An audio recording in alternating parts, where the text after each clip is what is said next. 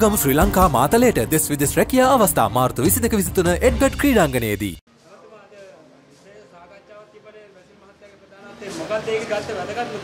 නෑ ඒක අද සාකච්ඡා කරේ මැයිදිනය සම්බන්ධව මැයිදිනය සංවිධානාත්මකව පොහොට්ටුව පක්ෂයක් හැටියට අපි හැමදාම කරා මැයිදිනය ඉස්සෙල්ලාම අපි ආරම්භ කරේ ගෝල්ෆිස් පිට්ටිනය පුරෝගන නමුත් මේ වෙලාවේදී ගෝල්ෆිස් පිට්ටිනේ මගේ අමාත්‍යංශ යටතේ තියෙන ආයතනයක් හැටියටත් අපි ඒක ගැසට් කරලාම තියෙනවා දේශපාලන වැඩවලට ගන්න නැහැ කියලා ඊළඟට ලොකුම පිට්ටනිය තමයි අපි තෝරගෙන තියෙන්නේ අපි බලාපොරොත්තු වෙනවා ඉතාමත් ඉහළ මට්ටමේ මැයි දිනයක් පවත්වන්න.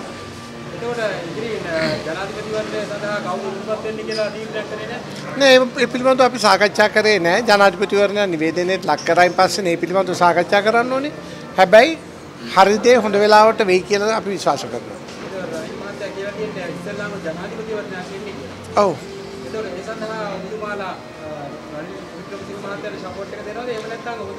අපේක්ෂක මගේ පෞද්ගලික මම මතය මීට ඉස්සර මම ප්‍රකාශයකට පත් කරා. ඒ වෙලාවෙත් මම කිව්වේ රනිල් වික්‍රමසිංහ මහත්තයා එනවා නම් ඔහු තමයි මේ අපේක්ෂකයෝ අතරින් දැන්ට කතා වෙන අපේක්ෂකයෝ අතරින් වඩාත්ම සුදුසු ඔහු කියන එක මම මේ වෙලාවෙත් කියලා තියෙනවා. එතුමා આવොත් අපිට මං හිතනවා පක්ෂයක් හැටියට අපිට එතුමාව අරගලයා වෙලාවේදී මේ රට බේරගත්ත අභියෝගයට බාරගත්ත නායකයෙක් හැටියට ඒ අභියෝග ජයග්‍රහණ කරපු නායකයෙක් හැටියට සිස්ටම් එක චේන්ජ් කරන්න හදන නායකයෙක් හැටියට ඒක තමයි රටේ ජනතාව ඉල්ලන්නේ. එතුමාට සහයෝගය ලබා දීම අපේ වගකීමක් හැටියට මම දකින්නේ. එතුමාට සහයෝගය දෙන්නේ පොහොට්ටුවල වෙනම අපේක්ෂකෙන්? නෑ අපිට ඕත අපේක්ෂකව ඉන්නවා. නමුත් ජනතාවට අපි 69 ලක්ෂයක් ඡන්ද අරගෙන 64 ලක්ෂයක් පාර්ලිමේන්තුවේ තරගෙන අපිට අපේ ජනතාවගේ බලාපොරොත්තු ඉටු කරන්න බැරි වුණාම ඒක අපි වකින් බාර ගන්න ඕනේ. එහෙමනම් අපි තවත් කෙනෙකුට අවස්ථාවක් දීලා ඒ අභියෝග ජයග්‍රහණ කරපු නායකයෙකුට අපි සහයෝගය ලබා දීම වැරද්දක් නැහැ කියලායි මම දකින්නේ. නමුත් ඔබතුමාලත් මැතිවරණයේදී මැතිවරණ ඉදිකාවට නැගිටින ජනතාවට මොකක්ද කියන්නේ මේ ජනතාවේ ඡන්දිල්ලන්නේ මොකක්ද කියලා? ජනාධිපති අපේක්ෂක හැමදාම ජාතික ප්‍රශ්නයක් මුල් කරගෙන තමයි කරේ. හැමදාම මැතිවරණවල හොරු අල්ලන එකයි ඔය එක එක කතාවල් කියනවා බඩු බෙදෙන එකයි සහන දෙනෙවයි. හැබැයි හැම මැතිවරණයකදීම ජාතික ප්‍රශ්නයක් මුල් කරගෙන හොඳම උදාහරණය ආසන්න මැතිවරණයේ ජනාධිපතිවරණයේ ගෝඨාභය මහත්තයාව දාහනකොට එතුමාට යෝජ කිව්වේ ජාතික ආරක්ෂා පිළිබඳ. අද මේ රටේ හැමෝම කතා කරන්නේ රටේ ආර්ථික අර්බුදය ගැන. එහෙනම් මේ ආර්ථික අර්බුදය ක්‍රියාවෙන්ම විසඳන්න ඔප්පු කරන්න කටයුතු කරපු නායකයෙක් හැටියට රනිල් වික්‍රමසිංහ මහත්තයා කරලා තියෙනවා. කයිය නායකවරුන්ට ඕන තරම් කියවන්න පුළුවන්.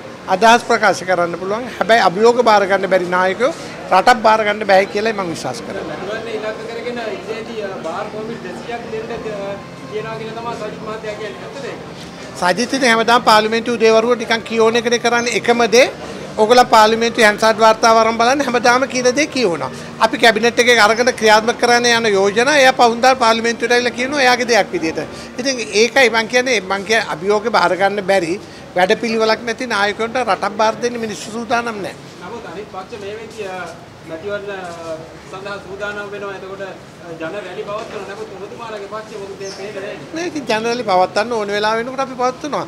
මේ ජනරලි පටන් ගත්තේ පළාත් පාලන මැතිවරණයක් තියෙනවා කියලානේ. ඒක තේරු ආර්ථික අර්බුදයක් වෙලේ ජන පළාත් පාලන මැතිවරණයක් තියෙන එකද රටේ ප්‍රමුඛතාවය වෙන්නේ.